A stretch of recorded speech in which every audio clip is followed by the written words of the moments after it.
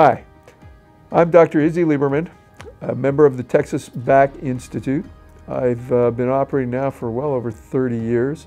I principally do deformity surgery, uh, pediatric, meaning adolescent, teenagers, young adults, adults. I do a lot of revision surgery, a lot of tumor surgery, as well as the typical degenerative cases that, that we all see in our careers. I'd like to share with you some insight and information on adolescent idiopathic scoliosis and spinal deformities. Young teens that mature into their adult years can develop curvatures of the spine that we just really don't know why they happen. Uh, we call those types of curvatures idiopathic scoliosis. Now, sometimes we see curves because the bones have been misshapen. They just haven't developed. Those are the congenital scoliosis. And sometimes we'll see curves in the spine because of disc herniations, which we refer to as a sciatic scoliosis, or due to traumatic events, or potentially some kind of infection or other extrinsic, something else that's causing the spine to curve abnormally. But those are the rarities. The common things that we see are the adolescent idiopathic scoliosis that affects young individuals, females more than males, typically starting around the age of 10 to 12 to 14 and progresses through to maturation. And in females, that's usually 14 to 15 years of age. In males, that's 17 to 18 years of age, where as they are maturing and growing, the bones start to rotate, collapse, and you develop the uneven shoulders, the high riding pelvis, or the hump on the back. So that's the typical adolescent idiopathic scoliosis that we see. The good news is a lot of those can be treated non-operatively and are not progressive. So right now, the rate of progression of individuals with a minor curve is very, very, very, very small. But when we see curves in the spine at a young age in individuals that have not yet reached maturity, the risk or rate of progression goes up substantially and we still don't have the ability to predict who is going to progress. So that's why we want to follow these young teens, young adults, typically at a three month or six month basis with a physical examination and an x ray to ensure that the curves are not progressive, to keep that patient as an asymmetric spine versus a progressive adolescent idiopathic scoliosis.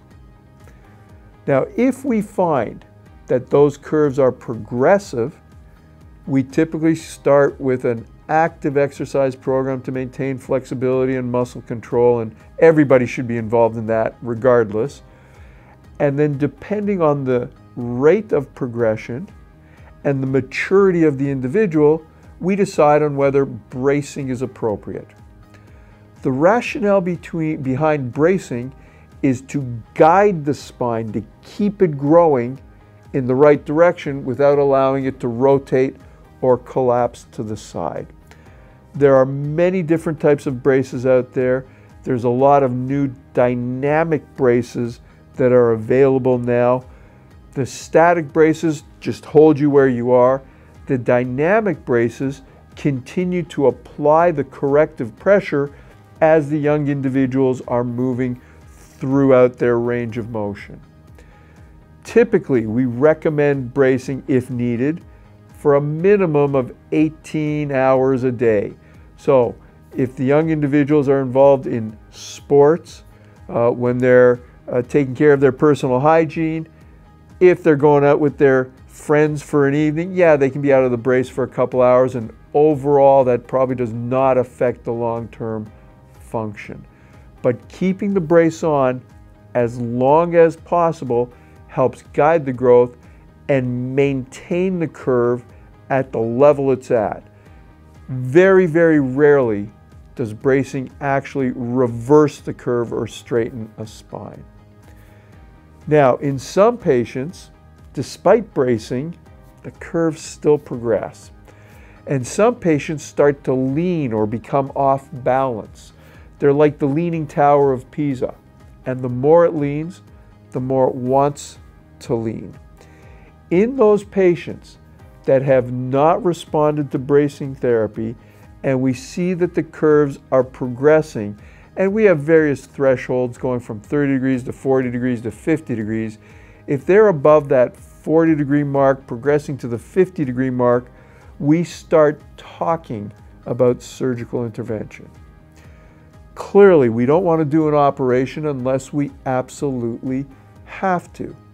And if you're going to decide on an operation, you have to base that decision on risk versus benefit.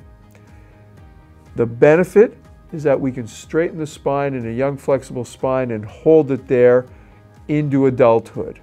Limit the functional issues, limit the cosmetic issues, and effectively keep our young patients taller and straighter. But this is still big surgery. There are risks associated with it, and the most substantial risk is injury to the nerves or the spinal cord as we go to straighten the spine. So if someone has a curve that's approaching the 50 degree or eclipsing that 50 degree mark, we typically recommend an operation to straighten the spine. The overall risk of a neurological injury we say is about 1 in 10,000. It's a small risk, but it's still there. And at the time of surgery, we do take precautions to ensure that we're mitigating that risk. So the first thing we do is spinal cord monitoring, where we are sending a signal from the brain to the big toe along the length of the spinal cord. So as we manipulate, as we move things in three-dimensional space, we know if the spinal cord is becoming compromised. The second thing that we do is we pre-plan the surgery in a virtual environment. So we know exactly where we're going to start and stop the fusion, go from T4 to T12 or T5 down to L3 to make sure we get the alignment that we need. And today we've got robotics, we've got navigation, we've got augmented reality that helps us as surgeons execute the surgery much more efficiently and precisely so that we can capitalize on our pre-op plan.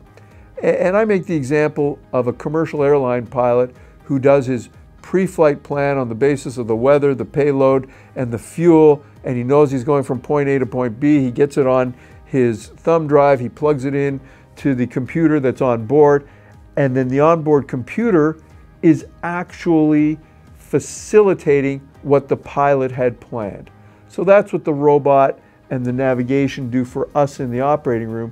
It helps us facilitate our pre-op plan to optimize the surgical correction and to minimize the risks of surgery. So at the end of it, we've got a smiling, tall, happy, young individual.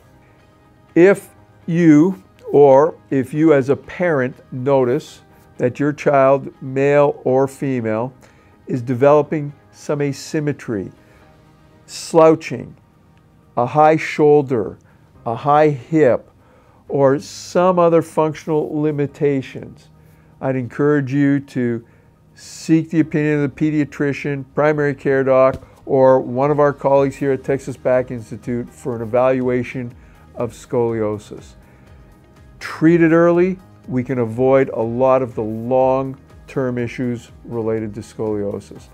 And with today's technology, we can keep our young patients active in all their athletic endeavors uh, and whatever other recreational endeavors they want, even though they may have a spinal asymmetry or a scoliosis that's required an operation, which is the rarity.